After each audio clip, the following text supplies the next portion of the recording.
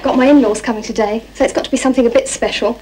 I set the oven at 350 degrees, which is gas mark 4, and on the top shelf I've got some spiced chicken, then some rice to go with it, and next door, Dad's favourite, bread and butter pudding. On the bottom shelf, some leek and potato soup, which is simmering away quite happily. Cooking everything together really does save fuel, and nowadays I think a good cook is an economical cook. Energy sense is common sense. Save it.